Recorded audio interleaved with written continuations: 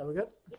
Okay, so welcome again to Ark Fellowship and uh, let's begin with prayer. Father, we thank you for the privilege of being able to meet together, Lord, in a world becoming increasingly wicked, increasingly oppressed, where truth, your word, your name, the very thought of you, Lord, is becoming something others want to call criminal. We thank you, Lord, that for us it is joy and life. So we pray, Lord, that you'll remember your covenant, that you yourself would be our teacher.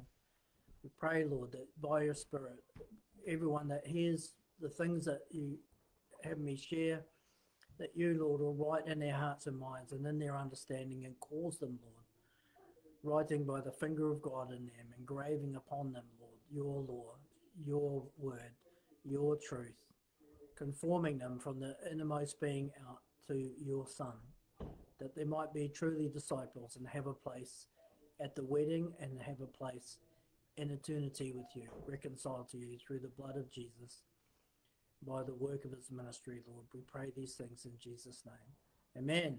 Amen. So tonight's topic is, once again, not John 7. I'm almost tired of saying that. But anyway, so I've entitled it. What did I entitle it? I'll put my old man glasses on. Blowing the trumpet, blowing the shofar, a warning from the Lord, because that's how it came to me. So the other day, God called me to prayer, like urgently called me to prayer. And he, said I had to go, I had to come to prayer with my Bible. So I, I knelt there with my Bible and it says Deuteronomy 2. So I read that. Then he says Jeremiah 9. So I read that. And then he says Obadiah. Obadiah. Who reads Obadiah? Do you know Obadiah? When's the last time you read Obadiah?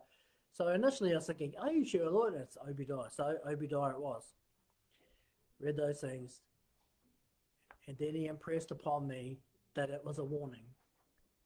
You know, like not something for later, not something to be taken lightly, but something that, and I really got the strong impression that applies to us you know, those who hear this and who want the truth, that it's for us. So, sat down thinking, okay, I need to write the study. What on earth have these things got to do with anything? So I, I prayed and I asked the Lord, explain. So, to the best of my ability and the best of my faith, what I'll share now is what the Lord instructed me from those three scriptures and what it means for us. So we're going to now, Deuteronomy 2 is reasonably long, but fortunately it's a bit repetitive. So uh, I'm going to skip a good chunk of it out, which is simply repeats the first part over and over. So we're just going to read from Deuteronomy 2, verse 2 until verse 7. I'll read it. Then the Lord said to me, uh, just to put context, they're wandering in the wilderness, right? So they haven't made it to the promised land yet, Israel. This takes place right at the end of the journey. So that so the promised land is really close. They don't know that, but God knows that they're almost there, right? Remember they've been wandering for 40 years? what got impressed upon me why we're here is because we we may well be in a similar situation. Remember, the wilderness journey is a picture of the Christian life. This is not our home. This is the world is not our home. It's a hostile place full of snakes and scorpions. Some of whom are our bosses. Some of whom are our neighbours. You know, some of whom are that person that yells at you in the car park or whatever. You know, this is not a friendly place for Christians. This world. It's the wilderness. We're not supposed to like it. We're not supposed to love it and embrace it and want to settle down as if this was our permanent home.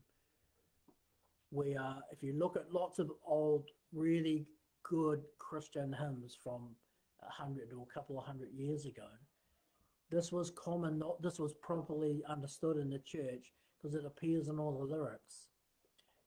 You know, like Onward Christian Soldiers, that famous hymn. Lots of hymns like that, right, which talk about the Christians being travelers on the move. You know, that we are passing through this life and this world to somewhere. So the old Christians really understood this. You know, not, he says, if anyone loves this world, they don't love God. That's the scripture, right? You think, what? You're not allowed to love the world? What it means is, if you think it's a good idea to have as your goal to have a comfortable life in the wilderness, good luck with that. You know, but God's people are just passing through. He gives us the bread every day. Remember, it's what Exodus teaches us. Even though it's the wilderness, He gives us water in the desert. He gives us the, the bread every day and so on, all those things, right? So that whole 40 year walk from their initial rescue out of Egypt, that's what people don't understand. When you were saved, that was only the beginning of your being saved. That's leaving Egypt. Heaven is a big long walk away through the wilderness, a reasonably unpleasant place. So if you take it, if you take your rose tinted glasses off and have a look at the world, the world is a reasonably unpleasant place, right? It's the wilderness. That's why that's why we're not to love it in the set in the way pagans do, as if this is it. This is not it for us. So this Deuteronomy 2 takes place right at the end of that journey, very close to the promised land. So picking up where we were. Then the Lord said to me, You have made your way around this hill country long enough. Now turn north and give the people these orders. You are about to pass through the territory of your relatives, the descendants of Esau, who live in Seir. That's a really mountainous region. High, well, by Israeli standards, mountains, we probably call them hills, but mountainous region. They will be afraid of you, but be very careful. This, this is the part that's for us. Be very careful. Do not provoke them to war. For I am not going to give you any of their land, not even enough to put your foot on. I have given Esau the hill country of Seir as his own. You are to pay them in silver for the food you eat and water that you drink. The Lord your God has blessed you in all the work of your hands. He has watched over your journey through this vast wilderness. These 40 years the Lord your God has been with you, and you have not lacked anything. You have not lacked anything. Notice here what God is saying to them. Up until now, he's been taking them by, if you go carefully through the scripture and plot it on a map, he actually sends them on this really tortuous roundabout route, right? You know, the 40 year journey, you can walk it in a straight line in about 10 days. So he took them on this long, convoluted route. And largely, he avoided any serious enemies. But now he says, You've wandered around these hills enough. Now you're going to take this direct route. But you're going to have to pass through the land that I have given to people who are your relatives, but there's a problem. What's the deal with Esau? These are Esau's descendants, right? Who is Esau? He's somebody's brother. He's brother of Jacob. Who is this? Who is this that God is leading? This is Israel, right? Who are the descendants of Jacob. How did Jacob and Esau get on? Not well. Can you remember why? Esau is the elder. He should have inherited everything under Jewish inheritance law, right? He should have been the head of the family. He should have, he should have, he should have. But remember, He would say he was tricked, but actually it was his own attachment to this world, his own interest in his own stomach that lost him his inheritance. Remember, his brother said, Tell you what, you give me your inheritance and I'll cook you this food. Red lentil stew, remember? And he's like, Deal. Because he's never thinking about eternity. He's only thinking about filling his stomach here and now, right? So he thinks, ah, deal. It's only later when God upholds that and causes Jacob to receive the blessing on the death of his father and inherit that position. Esau's really, really angry. He's angry with Jacob as if it's Jacob's fault. Whose fault was it? His own. He didn't take an eternal view. He thought that his, you know, here and now and today was what mattered. You know, I'm hungry, so yeah, sure, just cook me food. You know, filling his belly lost him his inheritance. That's an important picture of so much of the church today. They think, you know, we talk about people whose Jesus is like the vending machine in the sky. They think he's there to serve them, to make their life here full. You know, like the Hillsong sort of Jesus. That's Esau. They don't have an eternal view. They just assume they're going to heaven. They just assume they're going to inherit right. But their relationship with God is about give me, give me, give me, because I'm interested in my life like now. I want to be wealthy. I want to be comfortable. I want, I want, I want, I want. And you're the big vending machine in the sky. So in Jesus' name, I'm pressing, you know, B6 on the vending machine and I expect whatever that is to drop out of the into my hands, right? That's Esau. What we have to understand in Deuteronomy 2 is God is saying to them, I'm about to take you through the land that I've given to Esau and his descendants. The feud is not really over. He's basically saying, I'm about to take you through really dangerous territory, even though they're your relatives. So strictly the, you know, cousins or I'm no good at the whole ancestry thing, but relatives, right? But they're not friendly. They are used to God being with them, and they are used to whatever's in the way. If someone attacks them, right, God will deal with them. So everywhere, as long as God was with them, they could not really be in any harm, right?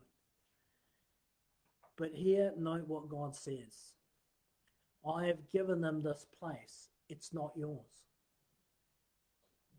You must not provoke them into battle. What does provoke mean?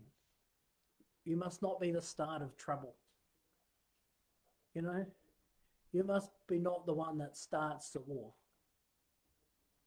You might be the one that finishes it, but you must you must not be the one that starts it. In fact, you must pay them for the water that you drink and you must pay them with the for the food that you take passing through this land. Right? It says specifically you had to pay them in silver. Did i include that part? I know that's in the scripture but i'm not sure if i had it in uh, oh yes. Verse 6 you had to pay them in silver for the food you eat and the water that you drink does anyone know why silver?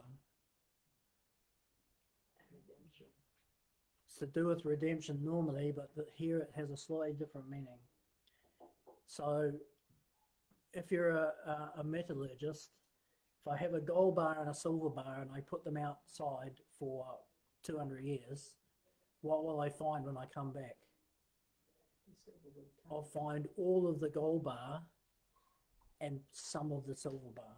Why? Gold doesn't react with anything. It's permanent. Silver oxidizes. That's why if you buy a Divisoria gold, oh, sorry, silver bangle, you go to Green Hills special jewelry market for a silver bangle, and you know, and then you go by the sea or something like that, and then it goes grey. Right? It's because it's got just the thinnest possible layer of silver on it, and that will oxidize really quickly. Right? So what it's meaning here is, don't worry that you're going to have to pay. What you're paying them is something that has no future anyway. You, you can happily give it away because it's not permanent. Do you understand? It's perishing like the world. That's actually supposed to be our attitude towards money.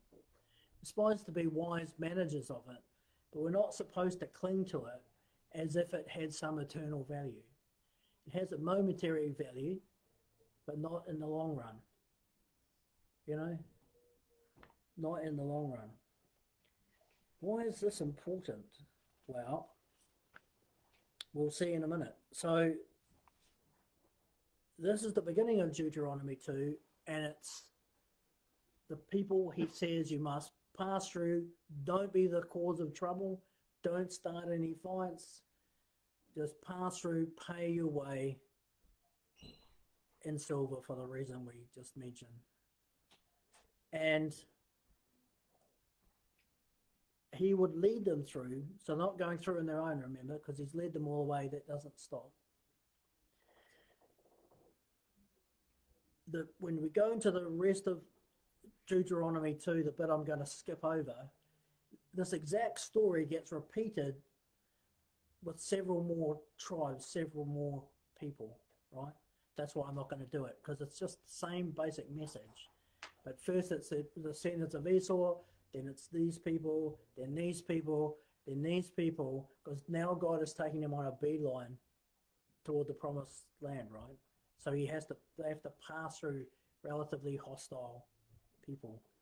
And this keeps going all the way until they get to a, the land of Heshbon. Heshbon uh, equates roughly to modern day Jordan. Okay, so Heshbon is the first place of the promised land. So it becomes the land given to the tribe of Reuben. So everywhere he says, no fighting, no fighting, just pass quietly through. Mind your own business, you know what I mean? Obey me, walk, pay your way. Don't be the cause of trouble. Don't start a fight. Notice he says that if you do, is he going to be with them?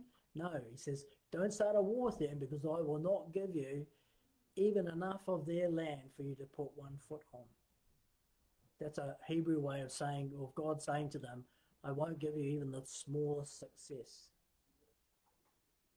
Because they are where I put them, and you are passing through the land that I say is for them. Right? It's only when they get to this place called Heshbon, east of the Jordan River, that that's the first time, and that's quite a bit further through in um, Deuteronomy 2, where he finally changes the instruction, and then he, now he says, Fight, because I will be with you, and I'll give this land into your hands, because this is the beginning of the promised land, the first chunk of it. God does the fighting. God does the fighting. So on page two, uh, I should point out that um, the people in Heshbon were something called Amorites.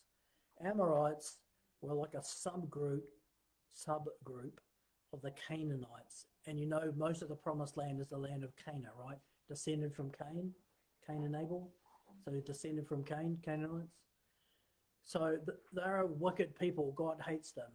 I know it sounds extreme, but that's what the scripture says. That God hated the Canaanites because of their they were so evil, like incurably evil, and that's why God had them.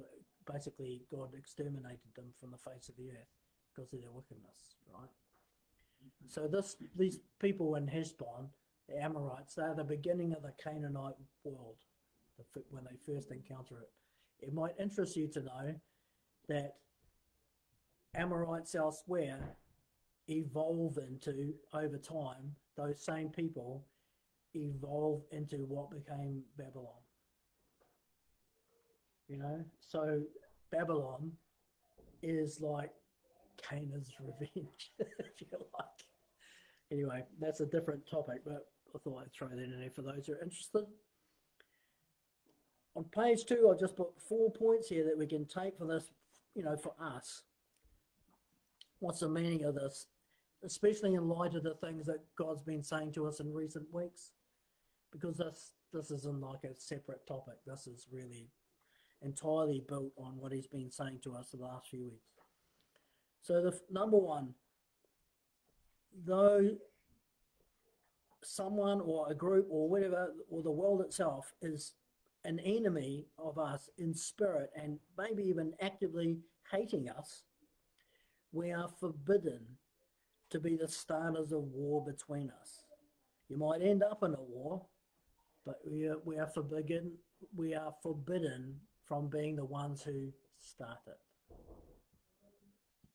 We don't go looking for a fight. You know?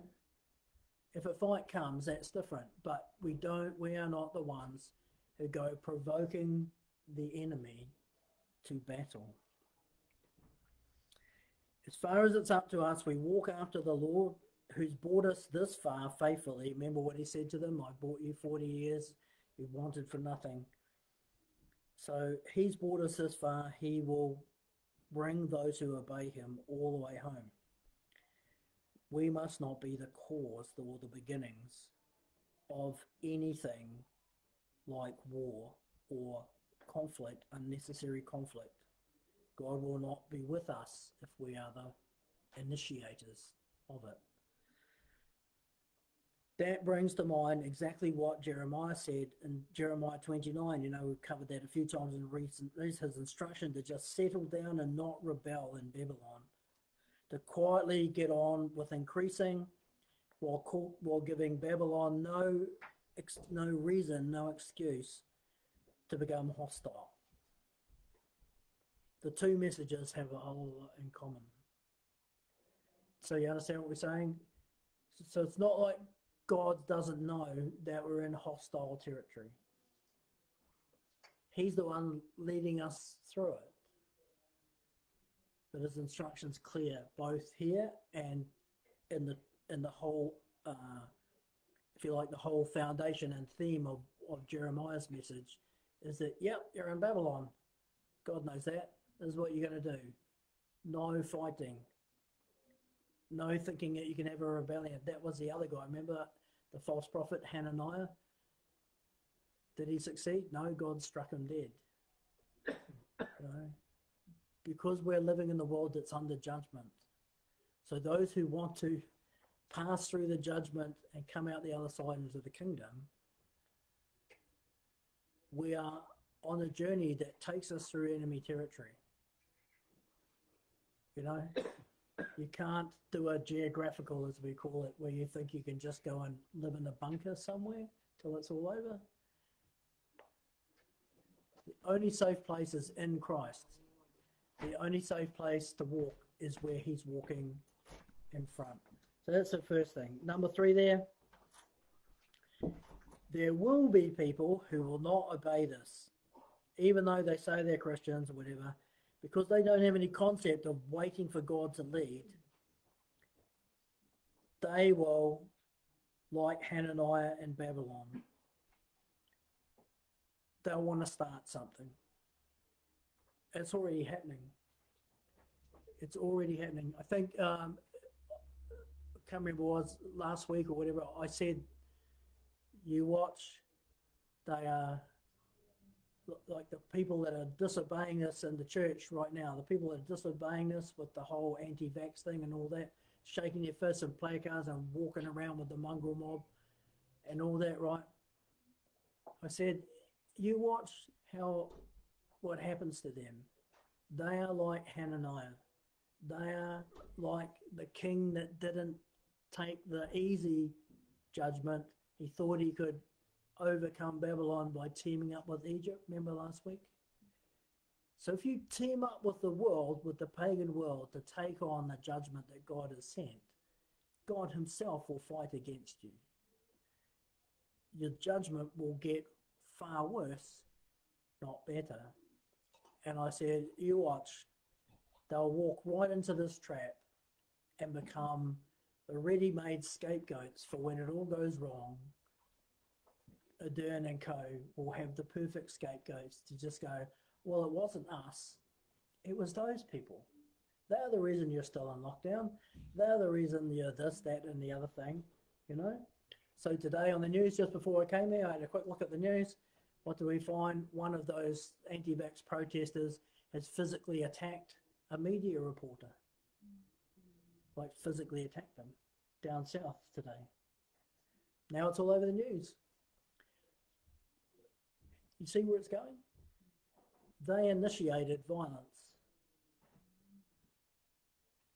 They might be the enemy, but if you initiate the violence against it, will God be with you? No. What will the end of it be? Instead of an easy judgment, it becomes 70 years in Babylon in the, in the, um, Judah's case. I hope that makes sense. Key thing is, we are not to be the cause of it. We're not to be the cause of it. And to remember, it's not the kingdom. This is not the kingdom. This world is just a wilderness journey on the way, so we need to pass through this portion of the trip, which is going to be dominated by people that, frankly, they will hate us.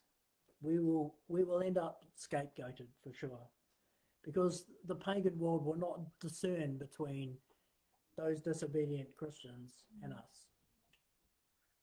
You know, so their actions will get us all scapegoated in the end, right? But it's okay. Jesus has warned us these things will happen. You know, he said that, right? He said, I'm telling you these things now so that when they happen, you will not be overcome. What knocks people over is things they don't expect. So if you understand they're coming, and Jesus, this is what Jesus said when he talked about what will happen in the end. He, he said that, I'm telling you now, so that when these things happen, you will not be overcome. So, what overcomes people, what smashes them, is when things contrary to what they're expecting happen. That's when they fall apart and lose it. But if what happens is what you're expecting, it's easy. Well, maybe not easy, but certainly it doesn't, you know, it doesn't disintegrate you. we have to remember when it's time for war with Satan, will there be a time for war with Satan in his kingdom? You bet. Who's going to start that? God. God will start it, God will fight it, and God will finish it. At no point in the proceedings does the church go out to war against Satan's kingdom mm-hmm. thinking that this is how we'll make the world a better place. Right? when when that's been tried before, it ends appallingly badly. Like the Crusades of the 12th century, the Crusaders, that's what they were doing. They thought they could make heaven on earth by sailing off to recapture Jerusalem for Christ. Do you know that the Crusaders killed an estimated 30,000 other Christians on the way to Palestine when they ran out of food they just killed anyone they met and took their stuff. And when they got to Jerusalem, they killed as many Christians as Muslims because they couldn't tell them apart because they're all Middle Eastern. So if they look Middle Eastern, they just killed them.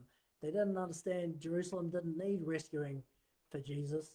There was always a was already a massive Christian population in Jerusalem living quite happily. You know, when the church gets militant, when the church thinks that, well, God's not doing anything, we'll do it. We'll start this war. We'll rescue the world from Satan. History tells us, and the scripture tells us, God will not be with them. It will end appallingly badly every single time. Deuteronomy 2. The next scripture was Jeremiah 9, and I was a bit surprised that this came up again because I refer to it almost weekly, but we've never actually done it. So I'm not going to do the whole of Jeremiah 9 because again it's quite long, but I'm going to just take the key things out of it here. So we're at the bottom of page two now. This is how Jeremiah 9 starts, verse 1. This is God speaking. God speaking to um, Jeremiah. Oh, that my head were waters and my eyes a fountain of tears. I might weep day and night for the slain of the daughter of my people. Oh, that I had in the desert a wayfarer's lodging place, that I might leave my people and go from them. For all of them are adulterers, an assembly of treacherous men. They bend their tongue like their bow, lies and not truth prevail in the land. For they proceed from evil to evil, and they do not know me, declares the Lord. Understand what God's saying.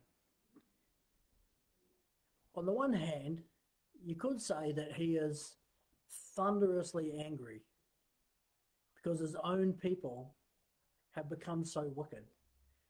When they prosper, it's not by doing good, it's through evil and lies. They're actually as dodgy and as, you know, deceitful as the pagans around them. They prosper through deceit, through lies, through schemes, right? Just like the pagan world. Well, that's a pretty good description of most of the modern church. The prosperity teachers, all that other stuff, right? We could go on and on and on, but I have gone on and on and on for about 25 years, so let's not do that. Okay, but you know what I'm talking about.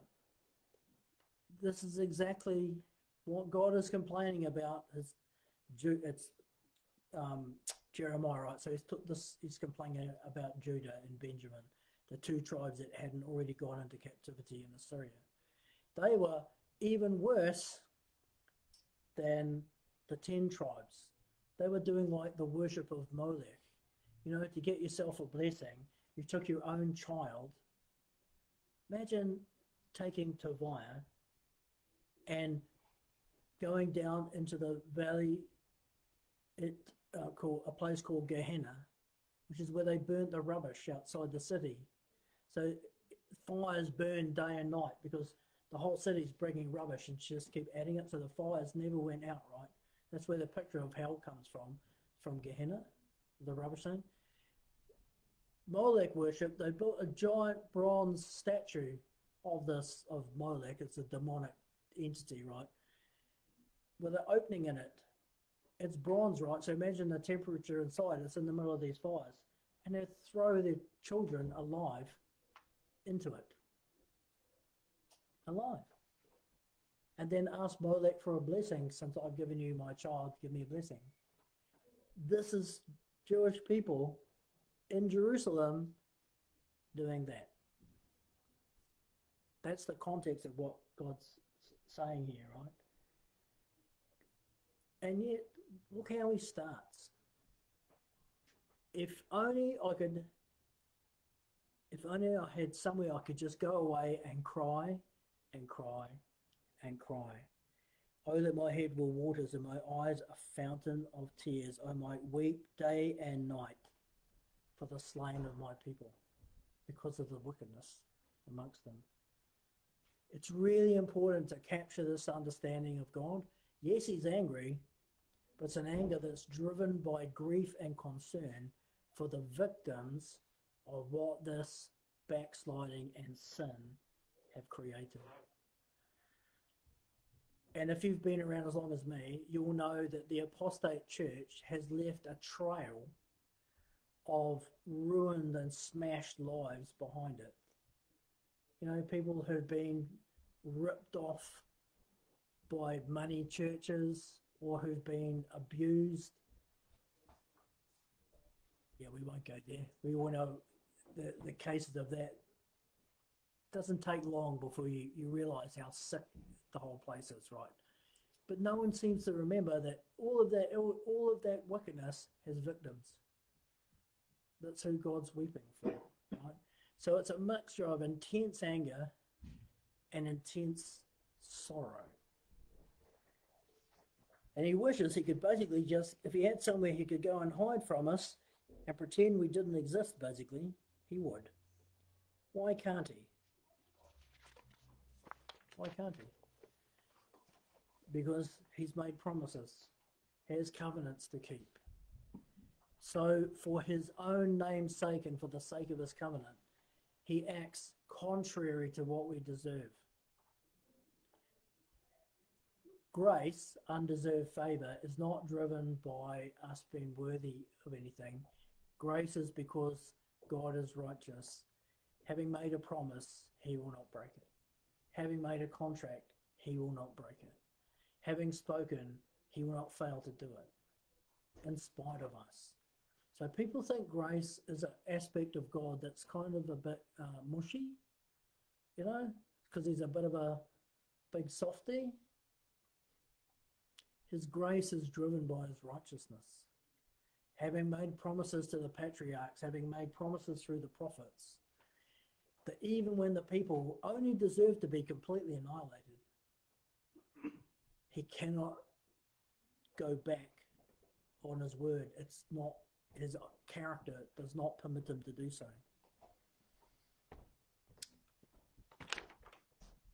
Need to get my right page. Okay. He talks about the reason that they're like this is because the whole land is operating on lies, lies and deception. They love, and the people love it that way, you know? These are the people that are supposed to know him. Instead, they are delighting in a society that's run on lies, half truths, and schemes. Turning over to page three, this should bring to mind 2 Thessalonians 2, which we've done many times. Why does God send Antichrist in the end? Because they would not love the truth.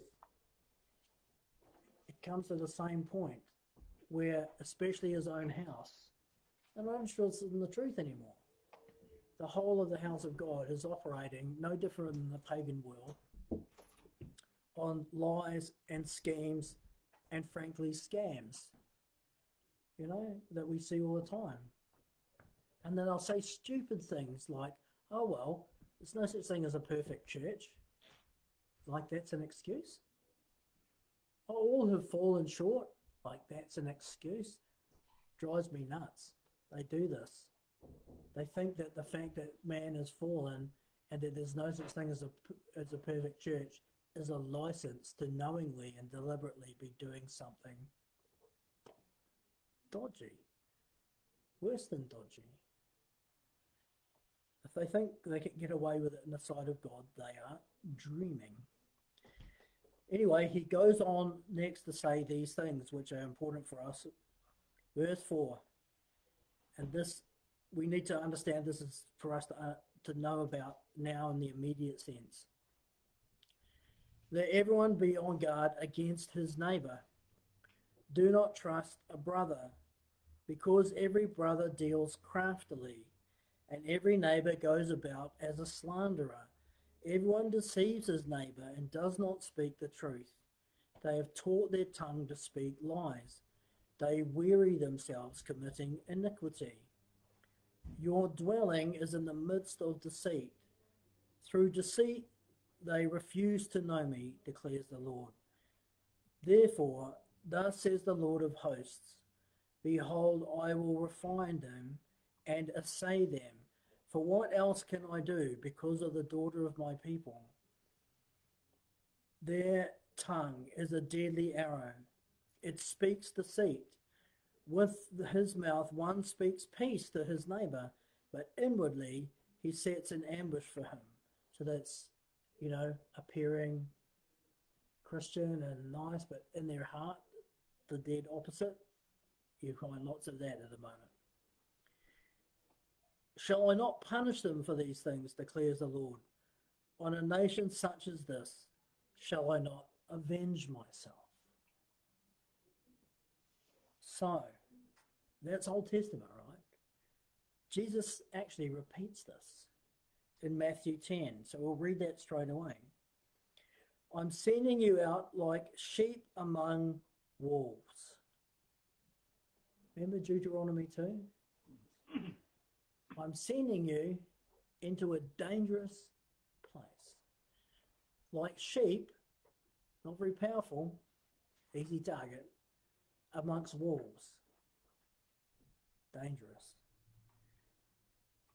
Therefore, so since that's going to be the case, be as shrewd as snakes, but as innocent as doves. We'll come back to that in a sec. Be on your guard. You will be handed over to the local councils and flogged in the synagogues on my account. You will be brought before governors and kings as witnesses to them and to the Gentiles.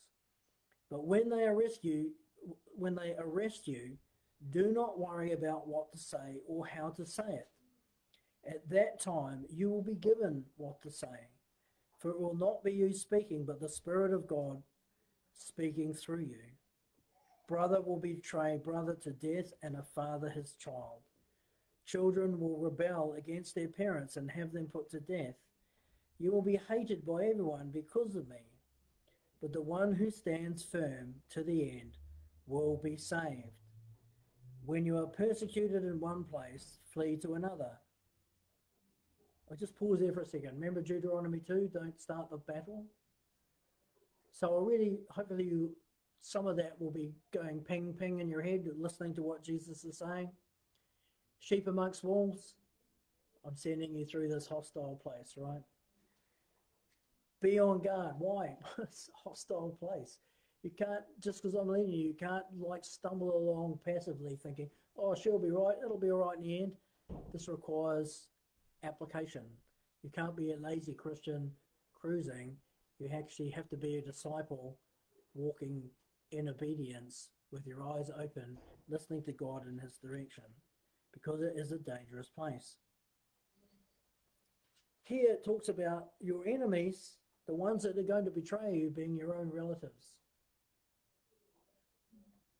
Who was God warning about in Deuteronomy 2 that they had to be careful of? Their own relatives, right? Just because they're your relatives doesn't mean that they're safe. So here's something we need to understand, right? Everyone assumes everyone right now is probably looking at their brother or sister in the room going, I thought you're a bit dodgy. You know, your primary family is the church. You have one father and he's in heaven, remember? So this primarily means your greatest danger is inside the church, not outside. Think of Jesus. Who did Jesus have to be most careful around? The Romans? No, the Romans basically couldn't care less.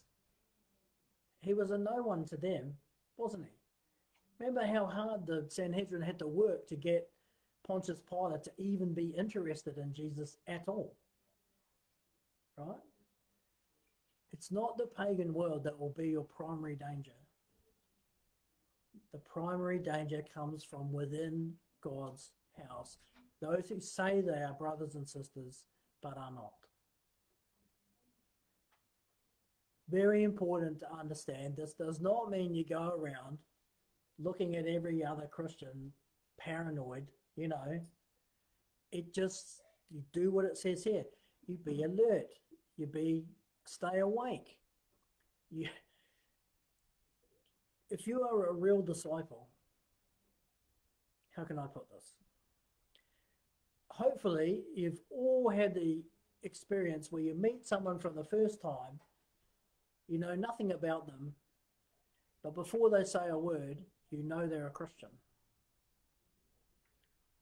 The spirit in you recognizes the spirit in them. And when they tell you that they're a Christian, it comes as no surprise, like you already knew that, right? Discernment. Being alert in God's house, being alert knowing that at the end, the really dangerous ones will, will be the religious people, right? Your relatives in a God sense, as opposed to your people with the same surname, right? It might coincidentally be that they're the same person, people if your whole family is churchy and half the families, you know, really disciples and the other half aren't. It might coincidentally be your actual brother or sister, but that's not its primary meaning. Think of Jesus. He's the role model. He tells you what it means by what happens to him, right? You have to use your discernment again, knowing, knowing that some, not all, will turn out to be snakes. You know, some, not all, will turn out to be like the Pharisees. Going back to Deuteronomy 2, when God told them, don't be the one to start the war, what else did he say? He said, they will be afraid of you. Esau will be afraid of you, right? That's what happens. Why, why were the Pharisees so desperate to have Jesus dead? They were terrified of what he represented. That's what happens to us. False Christians become really afraid of real Christians. False Christians come under conviction around real Christians. We make them unbelievably uncomfortable. What's the fastest way to get rid of something that makes you uncomfortable? Exterminate it. Get rid of it out of your life, right? If you can't make it be quiet, then you shoot it or whatever. It's that kind of context, that human thing, because they're not driven by the Holy Spirit, they're driven by the fallen nature, right? They don't really know Jesus. They have a form of religion, but they're not born again. So, remember what I said before God warns us of these things, not to terrify us, quite the reverse. If you know, He has said, without doubt, without question, this is what will happen. Whether it's Deuteronomy 2 or here or today, then when it happens, you'll go, oh, I know about that. I know what to do. You know, be Christ like. It happened to him, it happens to his disciples. It's no more dangerous to you than it was to him. Your, your protection is that you're in him. But if you if it happens to you and you don't understand this, you will think the world is ended. The sense of betrayal will do you in. Does that make sense? Forewarned is forearmed. You know, if you if you know to expect that it's going to happen sooner or later with someone, not everyone, but now and again, you're going to have this experience, right? So the only people in the room who are exempt are anyone in here who's not actually breathing anymore at the moment, right? So if you're still breathing, you're going to have this experience, right? So understanding that means when it happens to you, it doesn't smash you over. you under, you comprehend what's happening to you, so it's not overwhelming. Does that make sense? Doesn't mean it won't be uncomfortable. Doesn't mean that there won't be tears and all the rest of it. It means you won't be overwhelmed and destroyed by it. Is that right? Because sometimes it's the people you really least expect that do it. Remember, we've got to keep in mind that in this, at the, at the end, the love of most will grow cold, they'll fall away, and they'll try and take you with them. They will to make themselves feel more justified. They'll try and get you to agree with them. You know, and when you don't, they'll turn on you. You know, and it might be people really dear to you. So we have to understand this really, really well for it to not overwhelm us. Thankfully, thankfully, if you stay in decent fellowship and if you look after each other and you, if you work to preserve each other's faith, building each other up in the truth, then you won't be short of people who are not doing this to you. You know? So even if you experience this, you just go, you just say, well, bye you know, and you go back to the people who are on the solid rock, and that's your family. That makes sense?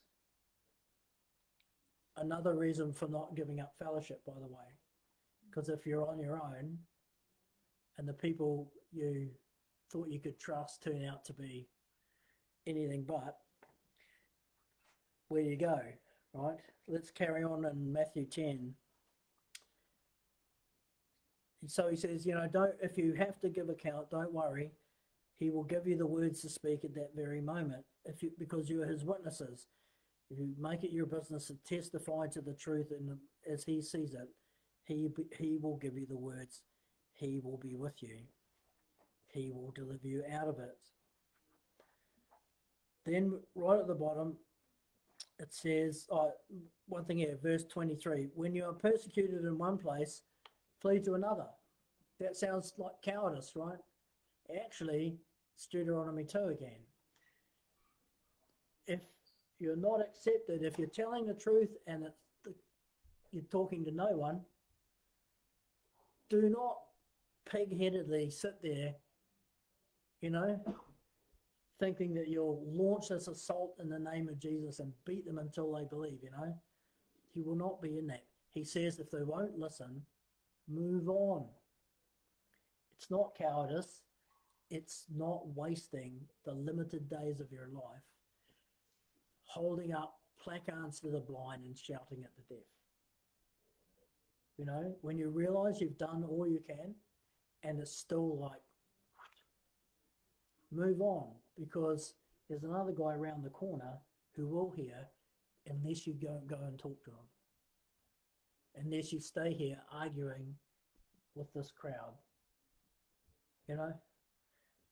People get shocked with me when I just walk off. They're trying to they're trying to lock me in a fight. And if I know I've told the truth and it's still just then it, they get really shocked when I'm like, see you later. Why?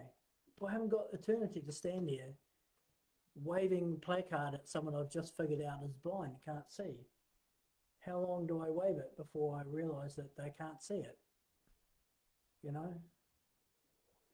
The the enemy will constantly try and get you to blow years of your life trying to convince a person or this or whatever when it's quickly apparent that they aren't going to listen. You move on. It's not an act of cowardice running away like it might sound when you first read it. It's wisdom. What else do we need to know from there? Ah, so when we get down to verse 24 and 25, let's just quickly read that again. The student is not above his teacher, nor a servant above his master. It's enough for students to be like their teachers and servants like their masters. If the head of the house had been had been called Beelzebul, Beelzebul is uh, an old uh, and a very archaic word, uh, word, I think, for the Lord of the Flies. So it's a reference to Satan, right? Lord of the Flies. So what? Who's the head of the house? Jesus.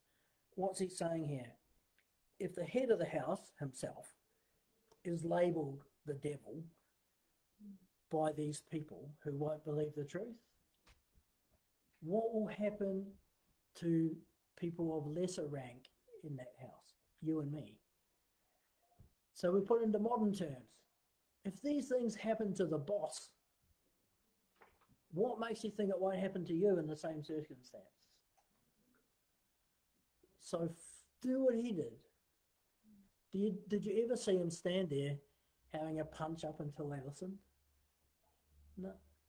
He would tell them, he might tell them twice, and then he left. You read that all in the gospel, isn't it? You know, when if they picked up stones to stone, and what did he do? Call down lightning? It's not like he couldn't fight. Remember when they his disciples didn't want him to be crucified? And they said, You've got to save yourself, you've got to save yourself. What did Jesus say to them? Just to make a point here. He says, Do you not know that if I wanted to stop this, all I have to do is call to my Father, and at once 12 legions of angels would be at my side? Well, a whole human army couldn't deal with one angel, let alone 12,000 angels. Right? So he's making a point. Right? But then, of course, he goes on to say, but these things has to happen to fulfill Scripture. If I don't go to the cross, you don't get saved, right? So it's not that he can't, it's that he won't. So we have to have that kind of attitude. It's not, when you realize you're there, it's not that you can't fight, but that we shouldn't. For the sake of the guy around the corner who's waiting for you to turn up. You may not know he's waiting for you to turn up, but he's waiting for you to turn up with the gospel. Instead of being stuck in pointless, meaningless, head banging contests with people who don't want to listen. This is about the gospel, right? But I tell you, the same is true of just pick a topic. It's just true dealing with humans. You know, so when you get those people, sometimes it's really tempting to think, I'm just going to stand here until I win. For what? You know? To get their approval, to get them to agree with you, what will you have achieved? Nothing. Don't be the one that starts the fight, remember? If you're not accepted in one place, move on. Very important thing to understand. And that last one, verses 24 and 25, understanding that since these things happen to him, don't be surprised when they happen to you. It's normal. You're having a Christ like experience. I used to say that in, when I was teaching a class. I say, Who wants to be Christ like? Everyone would want to go, Go to Isaiah 53. Why? Well, that tells you what Christ like means. A man of sorrows, much acquainted with grief. What? Wait I didn't sign up for that. Yes, you did. Just put your hand in the air.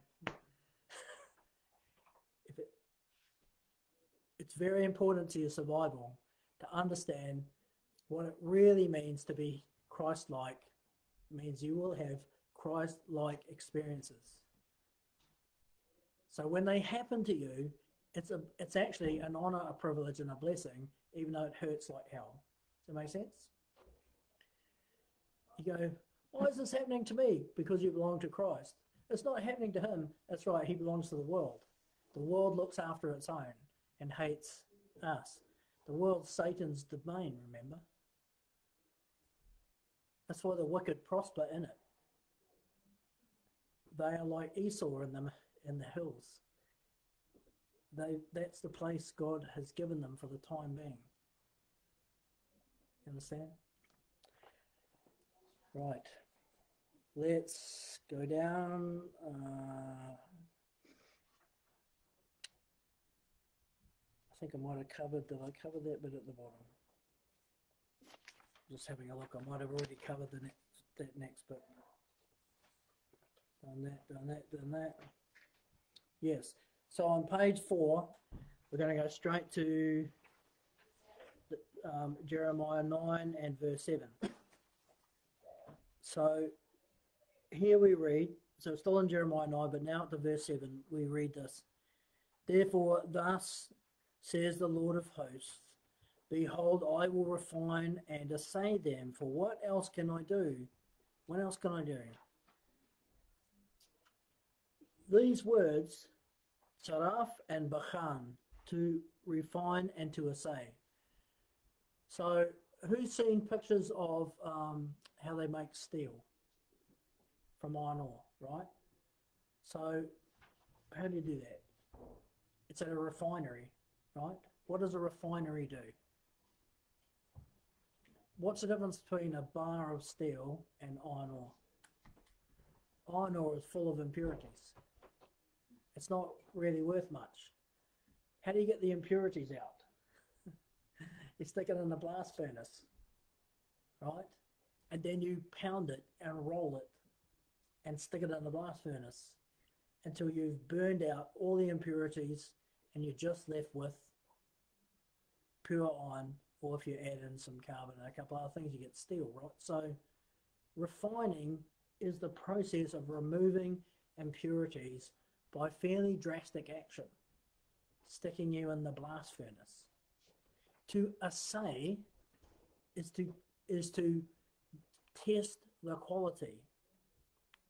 So if you um, if you're mining and you think you found some gold, you will take it to the assay office and they will test the purity of what you found.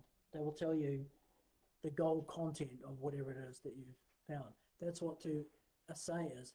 So God's saying that He doesn't have any choice with these wicked people. He says, What else can I do? Right? When you say, What else can I do? What do you mean? It means I've tried everything else. You know, He sent them prophets and wise men and, you know, all these things, and yet they're like this. Remember how it started? God, the mixture of weeping and anger, how he's almost beside himself. He wants to go away and hide in the desert and pretend we're not there. And that's how, you know, he's on the brink of having a having a mental breakdown probably. So he gets to where he says, I don't have any choice. What else can I do? This is all that's left to me. This answers why you find yourself eventually under judgment. It's not like God sends judgment easily or randomly. It's Jeremiah 9. It's literally what's left. What else can I do? He's been sending people saying, repent, repent, get out of this, stop doing that for decades and decades. And the church has ignored and just got worse and worse and worse and worse, exactly as Judah did. So it's the same thing. And no options left. So I've got to refine. Guess what? Humanity is the iron ore. How do you refine things? Stick it in the blast furnace. You know? What happens? Two things happen in the blast furnace. Impurities get destroyed. But what you're after gets refined. The same experience makes one thing purer and is the end of the other thing. That's what God's judgment does. It's not like the Christians are having one experience and the rest and the fake Christians having a different experience. We all go through the same experience, but it has two profoundly different effects on, on the two groups. It has the core it has the effect of separating the real from the fake. What God wants to keep from what will be burned up. So you think, what does the blast furnace look like? Well, the blast furnace looks like the COVID pandemic. It looks like economic crisis. It looks like the bulldozing of all our Christian culture people in the churches that are completely spinning out that now you've got it's gay marriage as of tomorrow the law comes in that says you're allowed to abort old people or anyone that's you know the end of life act or whatever it's called. And and and and right? So like pagan wicked and contrary to god things are now becoming the law. And the people love it that way. So if you're sitting there in your comfortable church thinking, we are the victorious Christians, you know, nothing can touch us, you're in this world in which your world is vaporizing. You know, your comfortable churchy world is being like disintegrating before your eyes and people are bouncing off the ceiling and shaking their fists and saying, it shouldn't be like this and blah, blah, blah, blah, blah, blah, blah. This is why it's so important to understand its judgment. If you don't understand its judgment, you will think that Satan is getting away with this and God can't do anything about it. God will start to shrink in your head and Satan will start to get bigger. And they'll cry out to God saying, God, you must stop it. It's evil. You must stop it. And then he, he won't. He doesn't. Why? He sent it. the only weapon that works, is there a weapon that works against it? Oh, yes, there is. One repentance. It's here because of wickedness. It's here because of the whole nation, this whole house, Remember, judgment begins with the house of God, right? So this is primarily about the behavior of his own people. The pagans just get dragged along, right? But they're spiritually dead already, so it hardly matters to them. The only thing that can avert judgment is for the cause of the judgment to go, which would require the repentance of the church. Personally, I think hell will freeze over before that happens. You know? You never know. I would love to be wrong about that. Not taking bets. But the key is the kind of arrogance, there is a kind of arrogance and pride in false church people. They think, we're the church, nothing can happen to us. That's the attitude of the Pharisees, isn't it? We're God's, we're Abraham's sons. You know, we are the we are the people of the book. Nothing can happen to us. It's that same kind of arrogance. What's actually happening is that everything they assume is just being bulldozed by a bunch of crazy lefties. You know, God hating, God hating liberals. They hate Jesus. And make no bones of the fact they hate Christianity because Christianity has rules, moral rules. They hate that. They would love Christianity to be eliminated from the world so that they could do what they like. Lawlessness, right? That's the spirit at work in them. Hates the spirit in you.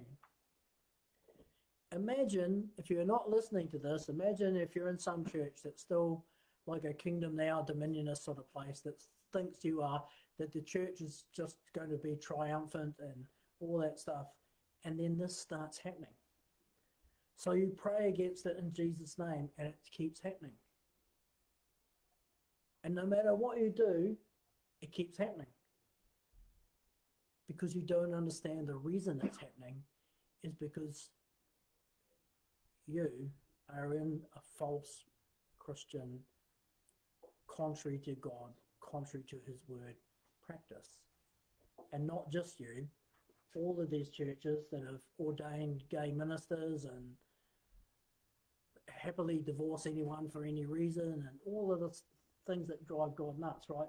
Have youth groups which just which are just a place to meet girls and sleep with them. That's so rampant, you know. How do you think God thinks about that? So his, when his own house is so wicked, when his own house is running dodgy financial schemes or, you know, he will not come to the rescue of that. He sent this judgment because of that. The only weapon that works is repentance. You won't realize you need to repent as a church unless you realize that where is God in the picture? He sent this. You know, He's not hiding in the corner, He's above it all. He sent it, it is subject to Him. The only one that can stop it is the one who sent it. It has His authority to do what it's doing. You know, hence, He says, don't start a war I won't give you even enough space to put one foot on their land. I've given the, I've given this land to them for this time. Deuteronomy 2, remember? So if the church thinks it can turn around in like spiritual warfare or some nonsense like that. Do you remember when COVID first came? Did you see the clip of Kenneth Copeland and his sidekick? I've forgotten his name now and on national TV, he commanded in the name of Jesus. He commanded COVID to leave. Right? I wonder what Jesus thought of that. Oh, I can tell you what he thought of that because God prompted me to look something up like two days later, and then I kept looking it up for a week.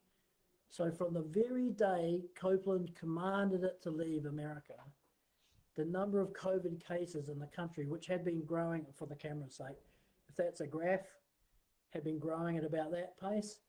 The day he commanded COVID to leave, the graph went like that. From the day he commanded to leave, COVID exploded like wildfire. across the country to the very day. No. Don't be the one to start the war because unless God is leading, unless it's God starting the attack, He will not be with you. Especially if what you're planning to attack is the judgment that He has sent to bring about repentance in His own house. That's what these people don't get, right? They don't get it. To refine. So all this stuff is designed to destroy what isn't real, what's rubbish in its sight.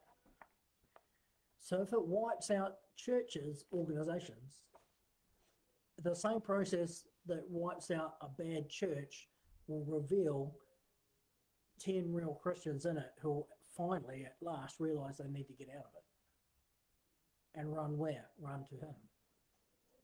You understand? To get that little bit of steel, he'll burn down, you know, 20 tons of bad ore to get the little bit of steel out of the smelter. One experience, two different outcomes depending on whether you're the real thing or you could be made into the real thing. And that other word, to uh, say, he's constantly examining. He's causing, you know, Jesus says there's nothing hidden that will not be uncovered, revealed, right? That's related to this idea. So in the process of refining, it will reveal those who are real and it will reveal those that are not because that process will disintegrate them. Does that make sense? So even though God is using a wicked agency, we've done this before, his purpose is righteous. He might be using a wicked agency, or he is using a wicked agency, but his purpose, his long-term goal, is to refine and to reveal what's really his and what isn't. Then we still in that same scripture, the last part, verse 9, he says, Shall I not punish them for these things, declares the Lord? On a nation such as this, shall I not avenge myself? Avenge myself. Well, he's asking a question, right? What will the church, what will most of the church, modern church say? Oh, no, Lord, you have to be merciful. You can't do that. You're merciful, you know? Just look the other way. Just forgive them. You know, just forgive. We've had a, we've, you know, we've had someone we've been dealing with for a while that has this attitude. Most of you won't know, but some of you know. So I'm not going to name them, but overseas. But they want to be forgiven without repentance. You know, they just they just say you have to forgive but they don't have to repent. Right? So, what's God saying here? Don't I have a right? It's my law, it's my standard. I've given you what to do, and you won't do it? Shouldn't I do something? That's what he's saying. Shouldn't I do something? the false church or the blind, uh, rather than calling them false, those who are still blind, who still don't get it they will go, oh no, you just have to forgive. But what is the problem? We'll turn over to page five. The problem is not seeing things from his perspective. Remember how in the recent weeks God's been reinforcing to us? We have to take up our cross, we have to get up on the cross and see it as he does. We need, you know, the view from the cross. If he says, if you're if you're seeing it as he does, if you understand what Jesus went through to make the opportunity for salvation, imagine the suffering of Christ. Sinless, innocent, and he went through all that to make it a possibility of salvation, and then his own house are doing this. If Jesus says to us, don't you think I should do something? Don't you think that I can't look the other way? Don't you think that in the end I have to act? if you're up there on the cross with him, what are you going to say? Aren't you going to say, Of course you do? You can't just let this go on forever and ever and ever and do nothing. You know why? Because then those who are trying to obey will become discouraged that wickedness goes on and nothing ever happens to them. You know, why am I suffering to be good when those who are so obviously couldn't give a toss about you in your own house get away with murder and you do nothing? That destroys people's faith more than anything I know. You know, the bad behavior of people in churches when good, real disciples see that over and over and over and they cry out to God, Lord, we'll never do anything about this. So this is what God is saying. Shouldn't I do something? The answer is yes, Lord, you should. And you know what? He has. He has. And I've said here, you know, some people will scream, oh, that's Old Testament. God doesn't do that anymore. Well, just read the book of Revelation, read Thessalonians, read anywhere in the New Testament, and you'll find that, oh, yes, he does. Yes, he does. That God that never does anything, who just looks the other way and just smiles and forgives and pretends nothing's happening, is a make believe Jesus, a fiction of the false church. You know, nothing at all related to the real Jesus whatsoever. So, the good thing is, though, when God avenges himself, it's always with a view of bringing about repentance. You know? So when God avenges, when he says vengeance is mine, the Hebrew understanding of that has always been that he will do what he said. He will demonstrate that he is God. I'll show you why you should obey me. I'll do the thing I said. Which can be scary if he sent prophets saying, if you don't behave, this is going to happen. So what vengeance does he do? He does the thing that he said. He demonstrates that he is in fact God. He really turns up and that's the thing. Now, if you understand that God has been, and we have to have this view, right? So if you're a real Christian, you don't have any choice about this. You must agree with him that what he's doing is right. Why? Because he's perfectly right to judge New Zealand. He's perfectly right to judge the USA, etc., etc. Because of the wickedness of the church and all over to say that he's not, to suggest that he's not right to send judgment is to buy into lawlessness. To say that these things don't matter. You know, that his righteousness can just be put on a shelf. When you can bring yourself to agree with him that he is perfectly right and just to do these things, in fact, if he was to go the whole way and just vaporize the earth, he would be right to do so objectively, impartially, he'd be right to do so. That's when you'll be at last in the right frame of mind, in the right view, agreeing with him to get what he's actually doing. He's sending us to bring about repentance. He could just destroy us. Remember? but he has covenants to keep. He always preserves a remnant for himself. Whenever judgment falls, he always preserves a remnant for himself, right? To maintain his covenant, to keep his promises. If you can get to the same view as him, if you can understand it, you'll stop being afraid of it. You'll realize that what God has to do to the earth is to save the remnant. Want to be saved? do the things that make you part of the remnant. If you're part of what's fake, stop being part of it. Get out of that church. Get out of that whatever it is, you know, that he convicts you of. If you realize you're part of why the judgment's falling, stop being part of the valid reason. This brings us back to not starting a war. Was not like, you know, taking this other approach if the valid reason is the church is so disobedient and won't do things his way and won't obey him, and this is his instruction, and they do the opposite, all it does is it makes the valid reason he had to send judgment on them even more valid. Their continued disobedience. It makes it even more valid that he turns up the gas.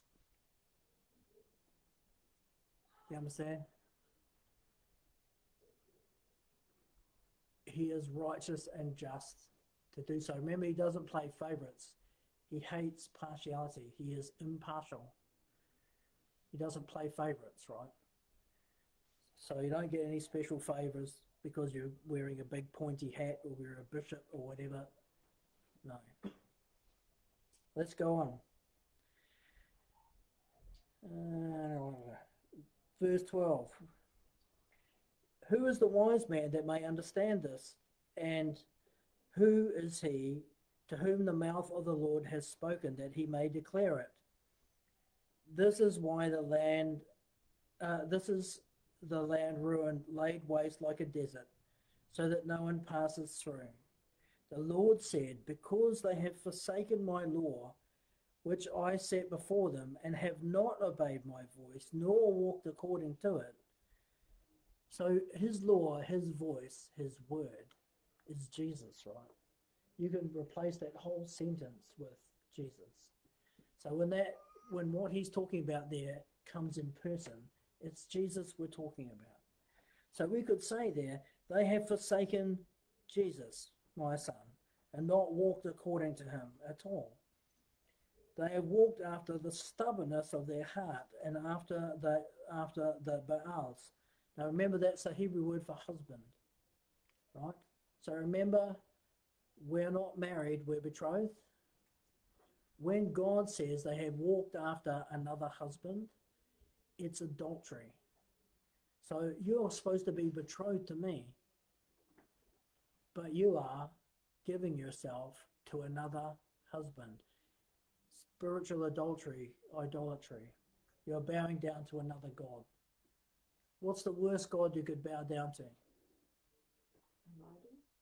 There's one God that's that God uh, wants you to avoid more than any other.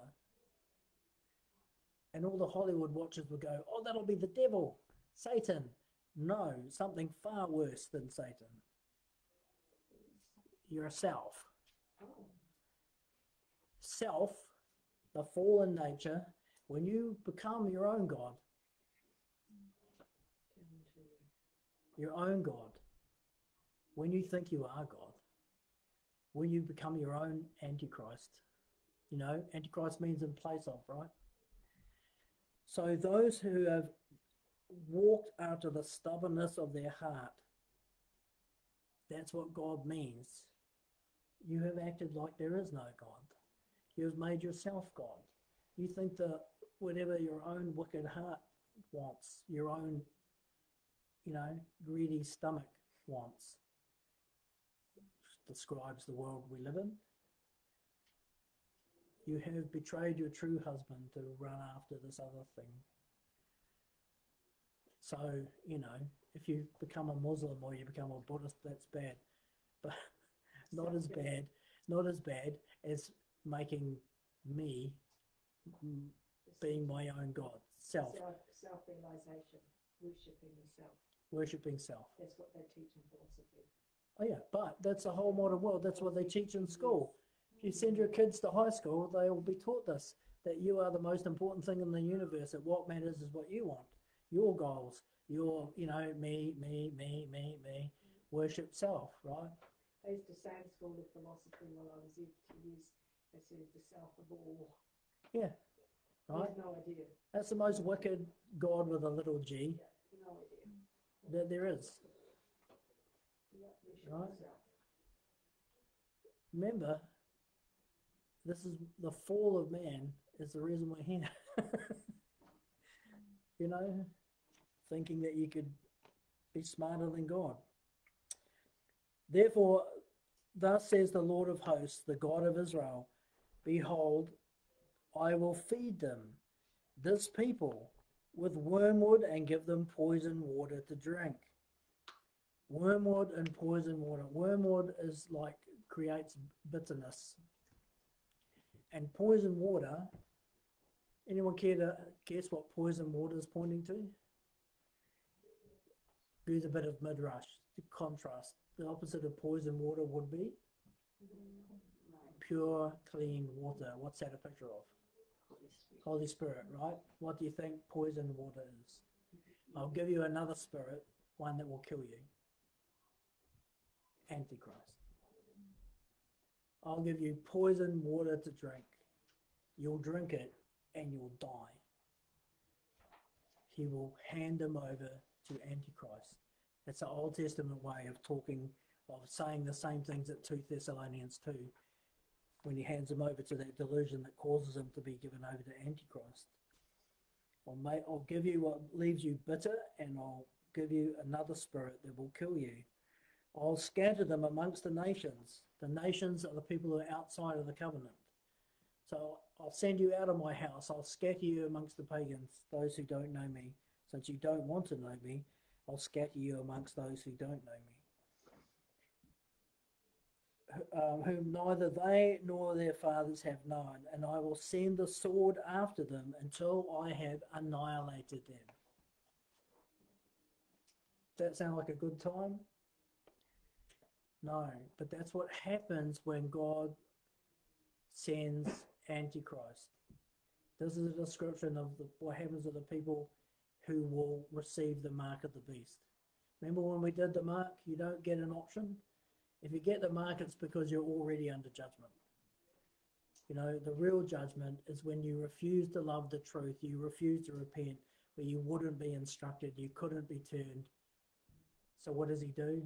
He hands you over to the delusion that causes you to follow Antichrist, that inevitably causes you to receive the mark. If you, if you can't remember that, just go back to that study. I think it was about, is it two weeks ago or three weeks ago or something? Not that long ago. But it's serious, right? Because once that happens, you don't come back. No one who receives the mark enters the heaven, and no one who receives the mark has any hope of salvation. It's over. Permanent. Just like this. Just like this. Uh, now, the next thing we need to see, still for Jeremiah 9, still part of the warning. Remember, we've been talking lately about how God judges the heart, not the outward appearance. Remember that? Oh, sorry, I need to turn the page. That would help. Why does it not say what I'm expecting? I'm on the wrong page. Here we go. So, Jeremiah 9, verse 23 now. Thus says the Lord, let not a wise man boast of his wisdom, and let not the mighty man boast of his might.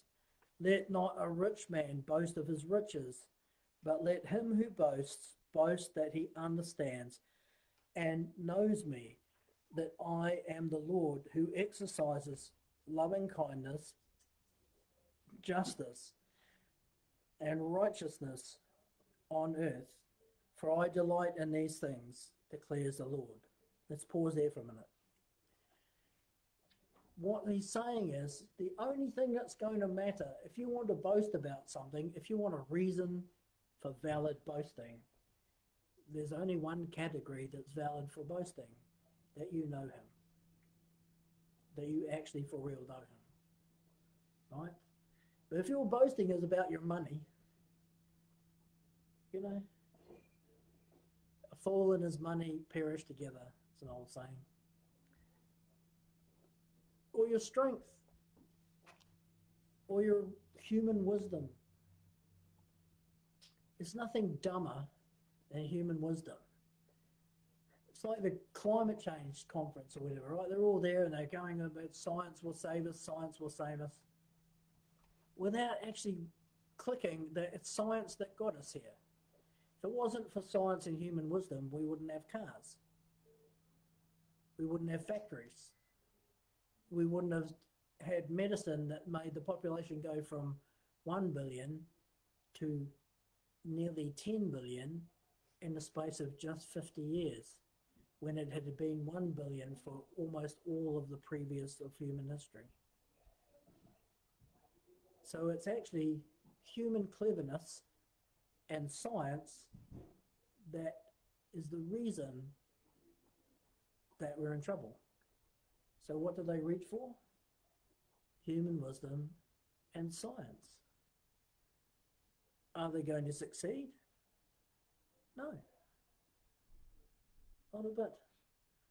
I don't want to talk about climate change, but just to give you an example, they've all agreed we have to cut emissions to by 50% by 2030. The same week, China and India, the two biggest polluters, both announced that there was no possibility of them reducing their coal burning. In fact, they needed to increase it until 2060.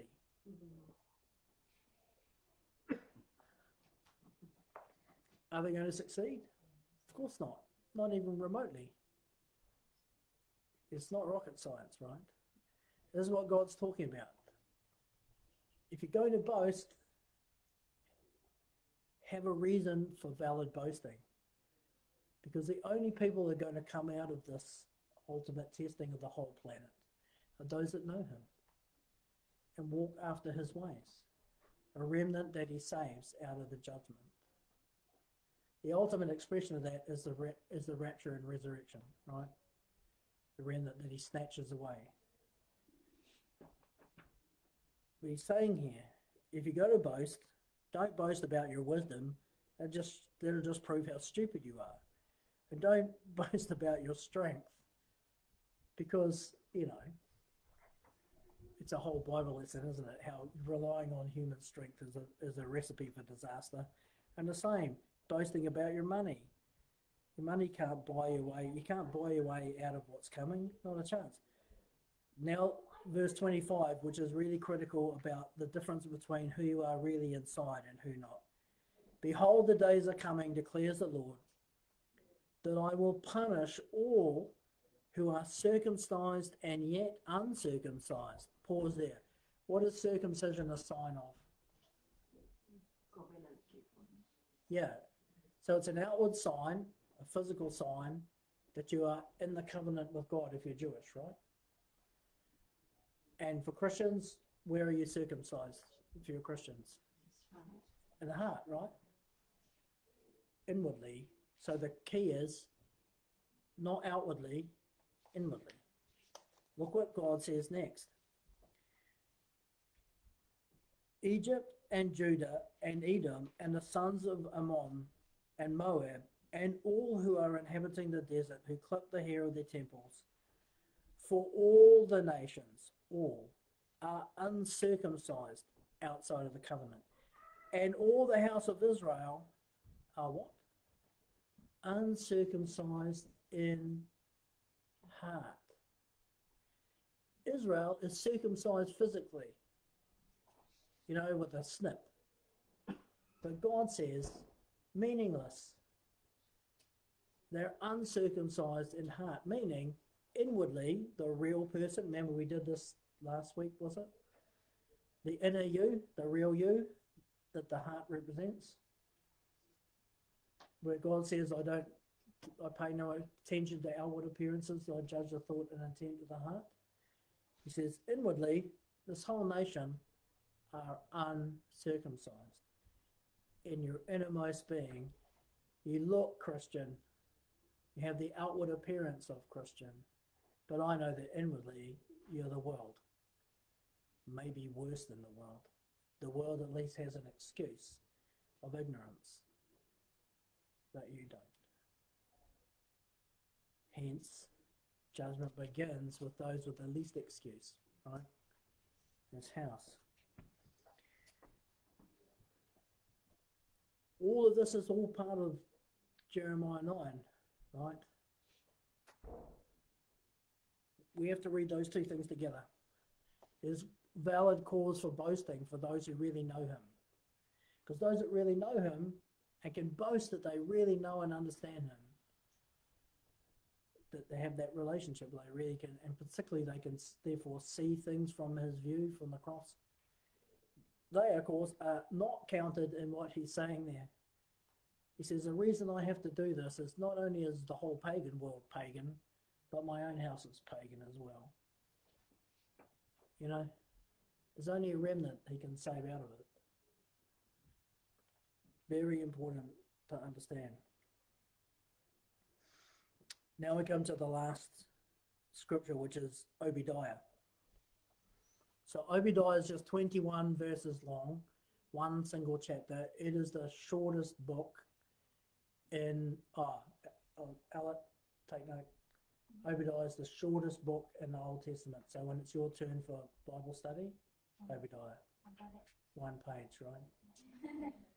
So, I'll just, I'll just read this. That's a good idea. yeah, yeah. So you know, so when it's your turn, you say, "I'm going to do a whole book in one night," and they'll go, "What?"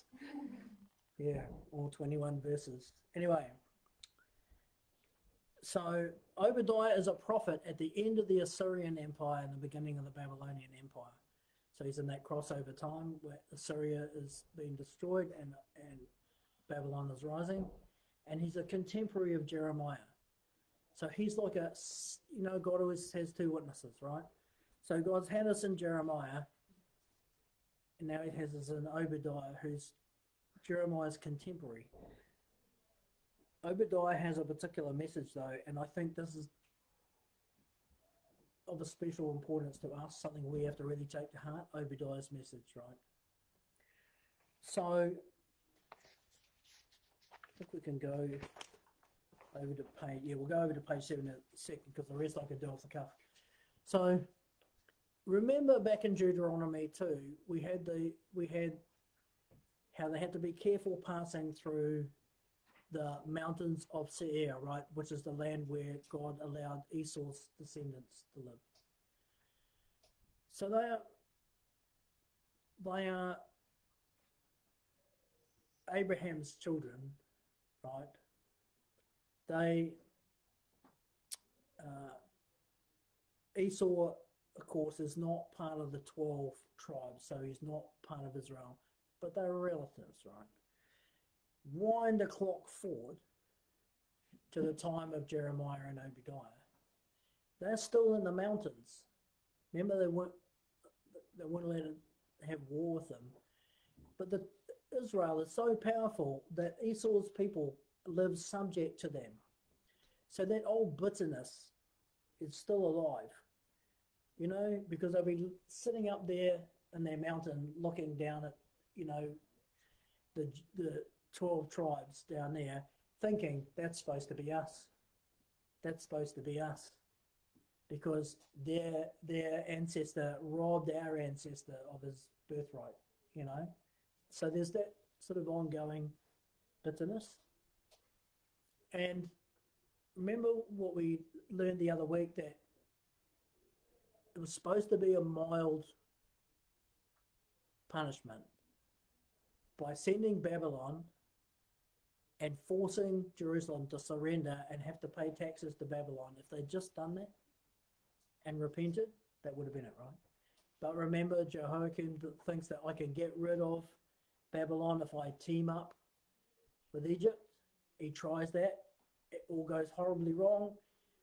And long story short, Babylon, it's not happy. Babylon comes, and instead of just a spank on the hand this time, they burn the city down, they destroy the temple, carry all the gold, everything in the temple is carried back to Babylon along with the people, and that is the beginning of the 70 year um, captivity. Why? So they initiated the war. you know, they disobeyed the things we've just been learning about. Object lesson, right? But here's the thing Esau is watching from the mountains. When they saw Babylon destroying Jerusalem, when they heard of it, what do you think they did? Payback. Esau came and helped Babylon destroy the city. Esau came and helped Babylon destroy the temple. They held party that their relatives had been wiped out, that their relatives had been carried off as slaves to Babylon. You know? And they helped the Babylonians, gloating and laughing and saying, ha ha ha, look what happened to you. Their own relatives, right? Never mind the few, their relatives. Obadiah is sent to prophesy concerning what they did. So the first thing we have to understand is from Eze- uh, top of page seven. You need to understand something about God's attitude, right? When God is judging, and even when God's destroying things, and even when He has to throw the wicked into the lake of fire, people say, "Oh, you know, what a mean and horrible God. You know, how could He be? You know, He's how can you know be like that? Terrible, terrible." It's a complete slander of God's character. Remember back in Jeremiah 9, he says, What else can I do? You leave me no choice, run out of options, so I have to do this. In Ezekiel 33, something is revealed of his nature there. He says, Son of man, say to the Israelites, This is what you are saying. Our offences and sins weigh us down, and we are wasting away because of them. How then can we live? Say to them, as surely as I live, declares the sovereign Lord. Note this I take no pleasure in the death of the wicked, but rather that they turn from their ways and live. Turn, turn from your evil ways. Why will you die, people of Israel? What's wrong with you? Why will you not just repent? Do you think I want to destroy you? Do you think I take any pleasure in doing this? But he has no choice, remember. When God sends a wicked into the lake of fire, he will be weeping like in Jeremiah 9. Oh, that my head were a fountain of tears. You understand? But he has no choice. He cannot permit that into heaven. He'll be beyond grief, won't So, with that in mind, so even when he sends Babylon, and even when he has Babylon destroy his own temple and carry his people off into captivity because they've left him no choice, he's weeping, not laughing. Down the mountain comes Esau, who are their relatives, going, woo! Right? Didn't know 60 year olds could do that, did you? Never seen that. Right. I have my secrets. I have my secrets. You don't see what happens when the disco lights are going. That's what you should do if you're sixty. Just Trust me, no disco lights. Anyway, let's let's see what Obadiah is sent to say.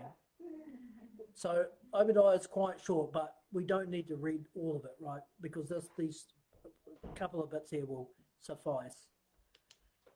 Because Obadiah is like a single purpose book, you know, so it really has a pretty simple one one purpose message. Obadiah 22. See, and he's talking to he's talking about Edom. So Edom and Esau are the same place. Okay. See, I will make you small among the nations. You will be utterly despised. The pride of your heart has deceived you. You who live in the clefts of the rocks and make your home on the heights. You who say to yourself, Who can bring me down to the ground? Though you soar like the eagle and make your nest among the stars, from there I will bring you down. Because of the violence against your brother Jacob, you will be covered with shame. You will be destroyed forever. On the day you stood aloof while strangers, that's the Babylonians, carried off his wealth and foreigners entered his gates and cast lots for Jerusalem, you were like one of them. You should not gloat over your brother in the day of his misfortune, nor rejoice over the people of Judah in the day of their destruction, nor boast so much in the day of their trouble. You should not march through the gates of my people in the day of their disaster, nor gloat over them in their calamity in the day of their disaster, nor seize their wealth in the day of their disaster. You should not wait at the crossroads to cut down their fugitives or hand over their survivors in the day of their trouble. Do you get that? God has to do this to them but he takes no delight in it. You know, for him, it's a necessary evil, if in a sense. You know what I mean? Like he would rather not. He wanted them to repent. So this is like last resort, no option, nothing else he can do. He has to send Babylon, but he hates it. He just hates it. He wants to save them, not destroy them. Right? This is why he's so angry with Edom, Esau. Because for them, it was like party time. Gloating and like, ha ha ha. And God saying to them, no ha ha to you, actually. Your cold and callous attitude to your own relatives. Right? This is, we have to be so careful of this. We have to take this to heart. Verse 15, he says, The day of the Lord is near for all nations. That's the whole earth. As you have done, it will be done to you. Your deeds will return upon your own head. Heard that before? Yes, you have. That is Jesus saying, with the measure you use, it will be measured to you. Do to others as you would have them do to you. Jesus didn't make that up, right? It's Old Testament. What's God saying to them? These are your own relatives, even if you have an issue with them, and they did. These are your own people. You should be weeping for them. You should be telling them to repent. You should have been there. You know what I mean? It doesn't matter that they, this is the key thing. It makes no difference that they deserve it because they do. But just because they deserve it, it's no time for a party. You know, it's disaster among your own people and your own relatives. Why is this important to us? Because we will see people fall. We will see people not cope with what happens. We will see people imploding in their faith. And they will deserve it. We will know they deserve it. Right? Now it gets hard. If you're Esau, Edom, you'll sit there going, Ha, I told you. Getting what you deserve. You know, no sympathy from me. You know, you should have listened. That's Edom. What will the Christian be like? You use the opportunity of their brokenness to say, This is what God said would happen, and now it has. Will you not even now listen? And if they turn, snatch them up. You know? Because God still wants to save. Remember, He's done this as a last resort. Remember what it said in Ezekiel? I take no delight in the destruction of the wicked. I want you to repent. Seeing it from his view, you understand? We have to be very, very cautious. Especially if it's someone who's really hurt us in their apostasy. And then who do you think God is likely to send as his witness if he knows he can still bring them to repentance, albeit he has to smash them first to do it? You know, he has to smash the pride and arrogance out of them and leave them gasping for life before they finally go, I should have listened. But now it's too late. Now I can't go back. You know the prodigal son thing? My father won't want me anymore. Who do you think he's most likely to pick as his witness? It'll be the person that represents his offence the most who that person offended most in Christ in this world is the best witness for Christ for their redemption. If they turn and repent, you, if that's you, you are the best witness Jesus can use. But you can't be Esau. Look what God did to Esau. Edom is his other name. Does that make sense? Because we can sit there and look at those churches going that are, you know, ordaining gay priests or promoting this or blah, blah, blah, blah. It doesn't matter what it is, right? And then if they fall to bits or those giant, um, it's so many of them have fallen over already, that those mega churches that are like ghost towns now, half of them, you can sit there laughing, going, ha, ha, ha. Oh no, that's Edom. We should weep with Christ for them. That'll motivate you that should the opportunity arise, you know, and you have a choice about how you're going to be when someone, a survivor might come out and they, like as a prodigal son, and they really don't expect they'll be welcome. That's when the rubber hits the road. Does that make sense?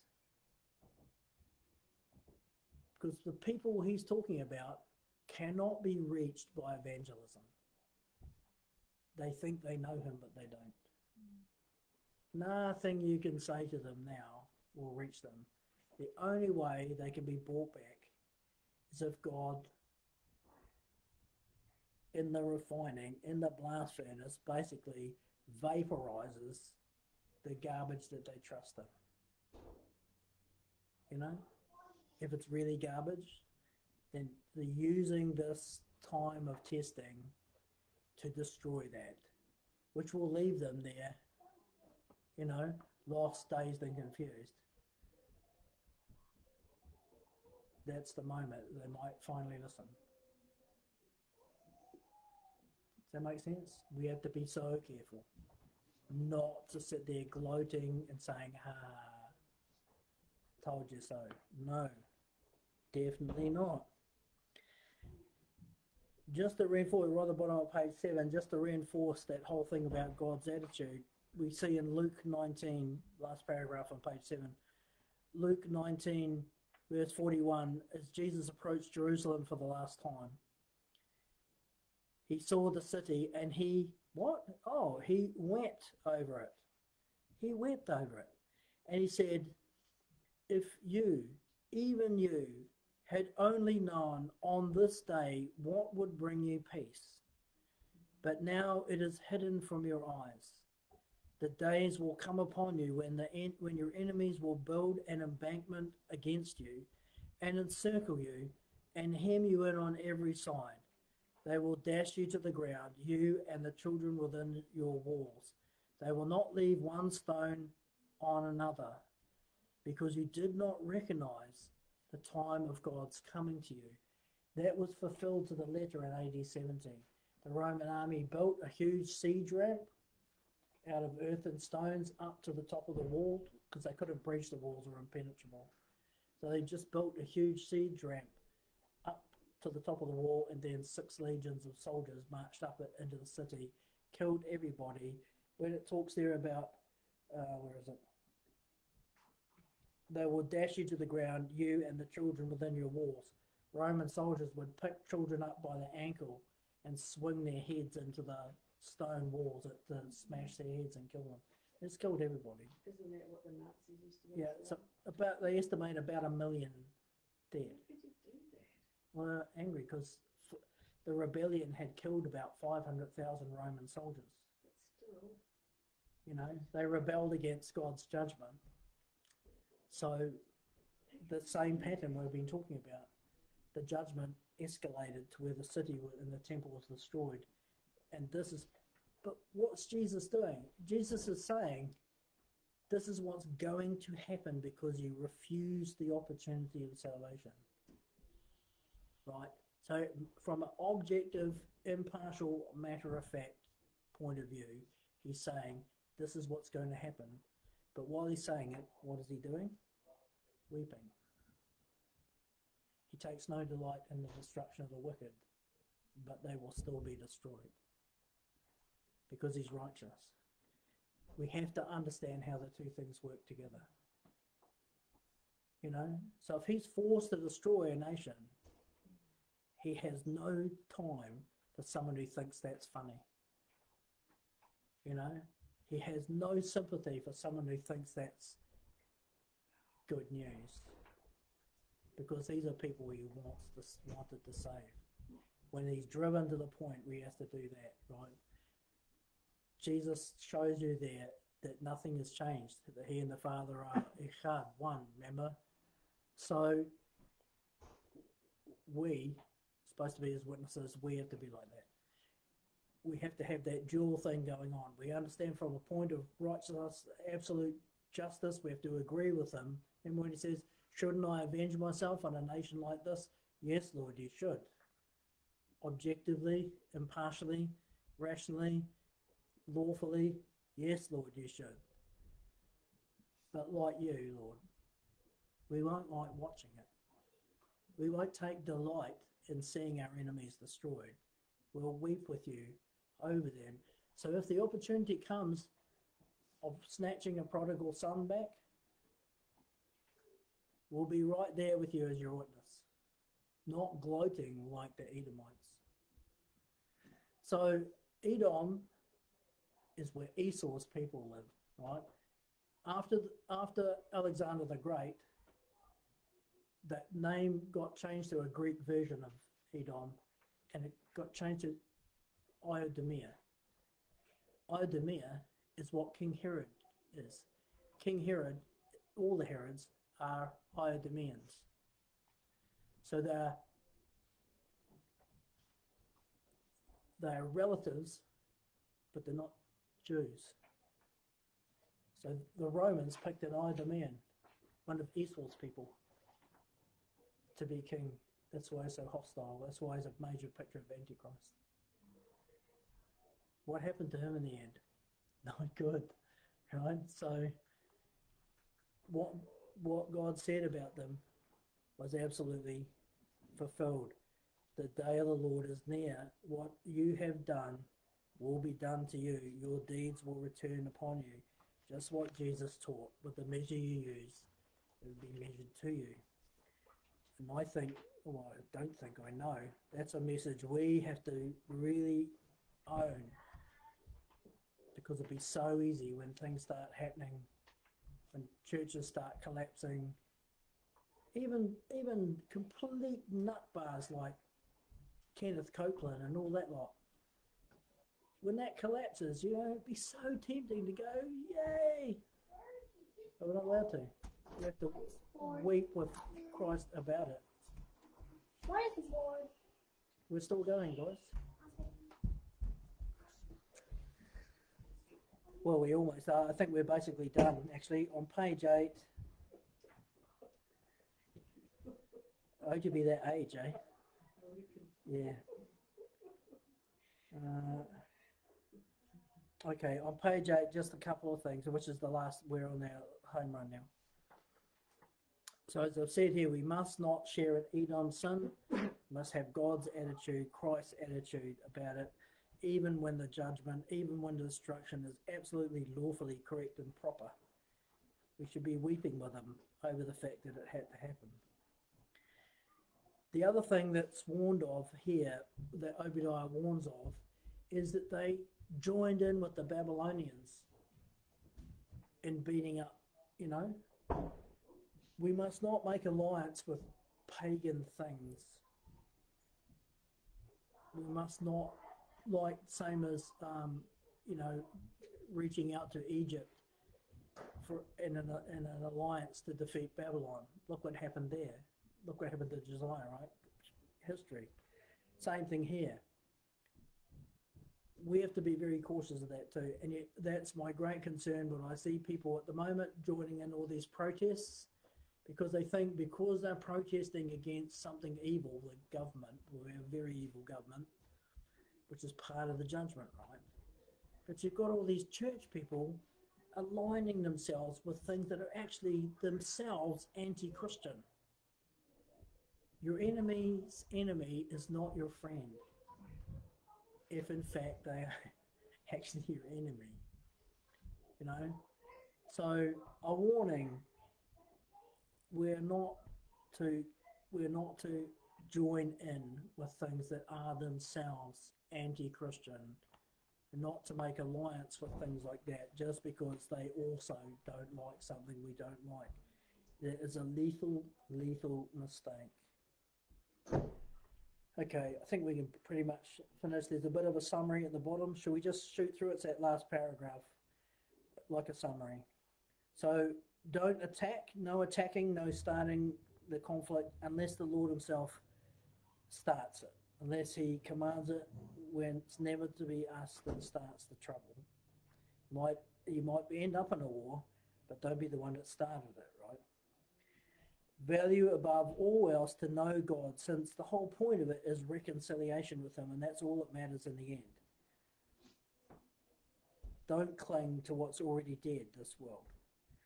Don't gloat when judgment falls on your enemy. Do what you can to bring them to repentance, especially if they, if you can see they're a prodigal son looking for a way back. Be the one to show them the way. Leave vengeance to God, because His idea of vengeance is to fulfill His word to save as many as He can. Okay, even the ultimate case, the remnant of Jacob in the end, nothing will be more terrifying than that. But even that is designed to save people who are not presently saved. See everything from the cross. If you don't see everything from his point of view, you will get lost, dazed, and confused and not understand and make terrible mistakes. See everything from his perspective. Because he's going to lead out a remnant. And when he does, he will gather them to himself and they will be his dwelling place in the last days. They will be his witnesses in the last days. Kind of revival, but not as the church thinks of revival. It will be about quality, not quantity. Okay? And my last line there says, choose life. For he has said, Return to me, and I will return to you. Remember, the only weapon that works now is repentance. It's the only thing that will make any difference. Repentance. Okay, so remember, the whole context of this was God warning us, especially that last thing, I think. Because of the times we live in, He's like, we're wanting to be his witnesses. We care. The truth matters to us. So he's saying, yep. But even you must must. There are things you must do that you not are not going to be natural for us to do. We have to consciously obey these things. Being in agreement with him in spirit and heart. All those things, right? So study this a few times, especially for yourself. So we are so should those circumstances come, I'm pretty sure they will. We'll know what to do. Because you'll have to overcome your fallen human instinct to do the opposite.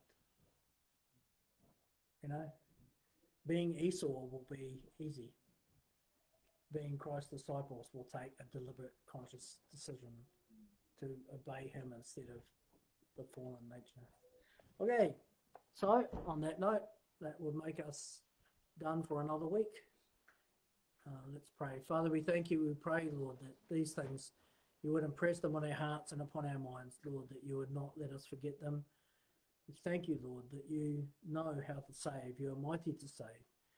You know who loves you and who doesn't really care you know, Lord, who has their eyes set on the wedding, who's looking for the groom to come.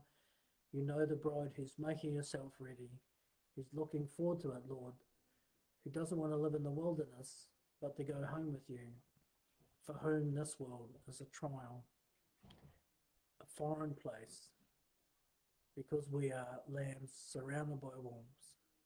Nevertheless, you are the shepherd who goes ahead of us and makes a way. You will deal with the wolves. You will bring the faithful through. Those who endure to the end will indeed be saved. Give us the grace, Lord, not just to be saved ourselves, but to be agents of your salvation for as many as we can reach, as many as we can help, as many as are willing to come. We ask in Jesus' name. Amen. That's it. Good night. Shalom.